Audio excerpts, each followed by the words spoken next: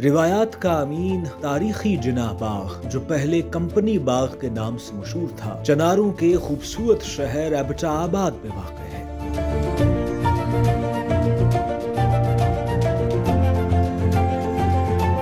चनार और दियार के ऊँचे दरख्तों ने बाग के हुस्न को चार चाँद लगा रखे हैं। अंग्रेज़ दौर का जिना बाग पाकिस्तान की तारीखी सैरगाहों में से एक है। ये बाग मुख्तलिफ़ अदवार के अहम तारीखी वाकयात का भी शाहिद है।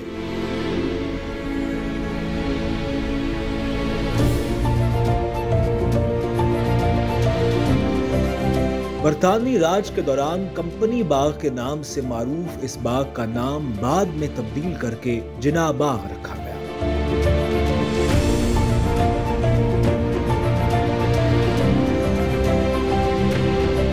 ऊँचे घने और सायादार दरख्तों ने बाग की खूबसूरती को चार चाँद लगा दिए हैं। मुख्तलिफ़ अकसाम के पौधों और रंग बिरंगे फूलों ने अपने गिर्द सहरंगेज माहौल बना रखा है। शायर मशरक अलामा मोहम्मद इकबाल ने इस बाग में बैठ कर अबर के ख्वाबों को हकीकत में तब्दील करने का अहद किया। उन्होंने यहाँ बैठ कर अपनी मशहूर नज्म तलख अबर को तख्लीक किया। इस हवाले से भी जनाब बाग को तारीखी अहमियत हासिल पाकिस्तान से कबल इसकी क्याम अमल में लाया गया था। ये कंपनी बाग जो अब जिना बाग कहलाता है, जो मकामी, जो शहरीों के लिए भी एक सियाती मका, पुरफजा मकाम है, जहाँ बच्चे भी आते हैं, खूब इंजॉय करते हैं। और साथ साथ इसकी तारीखी अहमियत ये है कि यहाँ इलामा मोहम्मद इकबाल शायर मशरक जो यहाँ तशरीफ़ लाए थे और यहीं पर बैठ कर उन्होंने अपनी नज़म अबर भी लिखी थी।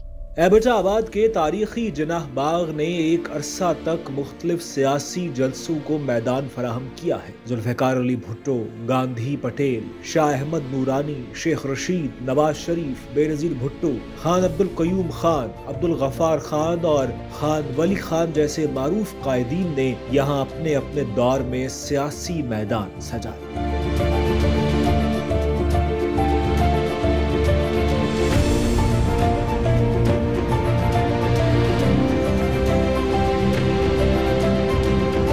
जिना बाग न सिर्फ़ तारीखी हैसियत रखता है, बल्कि सियाहत के हवाले से भी इसका मुनफरद मकाम है। पाकिस्तान के तारीखी, अदबी और सियासी जाय निगाह में ये बड़ी अहमियत का हामिल बाग है। यहाँ होने वाले वाकयात और कायदीन के खुतबात ने इसे मुल्की तारीख में एक खास मकाम दिया है।